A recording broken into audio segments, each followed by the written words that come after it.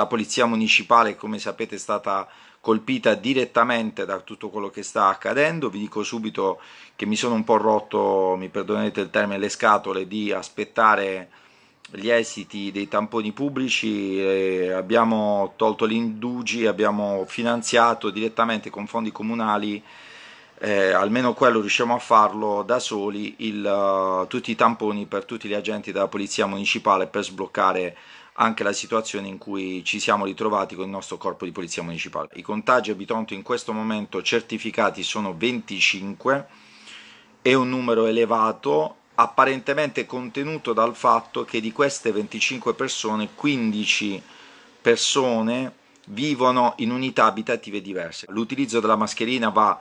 assolutamente inteso come un abbigliamento um, essenziale. A seguito di una, secondo me, giusta e condivisibile comunicazione da parte dei dirigenti, richiesta da parte dei dirigenti scolastici, ho deciso di accogliere la loro richiesta e uh, l'apertura delle scuole comunali, quindi parliamo di scuole dell'infanzia, di scuole elementari, scuole medie, tanto per intenderci, è rinviata al 28 settembre. Come sapete i seggi elettorali verranno utilizzate come al solito eh, diversi istituti scolastici e quindi ci sarà necessità poi di procedere a, da parte del comune alle opere di disinfestazione necessaria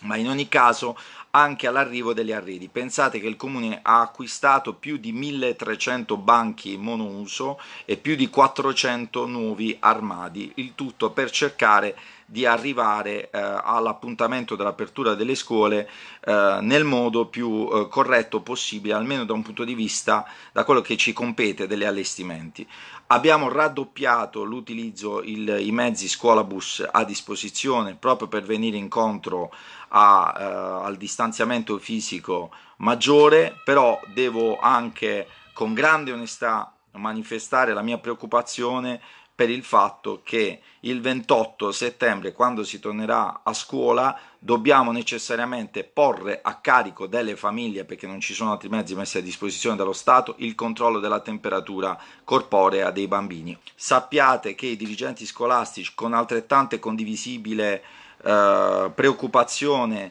stanno eh, i più stanno decidendo di, addirittura di non utilizzare le palestre, ma poi c'è anche il problema della mensa. La mia solidarietà agli insegnanti delle scuole primarie che eh, con ogni probabilità non riusciranno a mantenere la distanza fisica dei bambini per eh, mantenere il, uh, il, distanziamento perché sono pochi rispetto alle classi, alle classi formate. Vi devo dire che una persona ha perso la vita anche con la seconda ondata dei contagi, residente a Bitonto. Per quanto riguarda le scuole superiori non è mia competenza, è competenza del comune, le scuole superiori comunque stanno iniziando inizieranno nel periodo, nel periodo, previsto e credo che per le scuole superiori ovviamente sia più semplice che i nostri ragazzi impartire, diciamo, far comprendere ai nostri ragazzi la necessità di mantenere le distanze fisiche e le mascherine.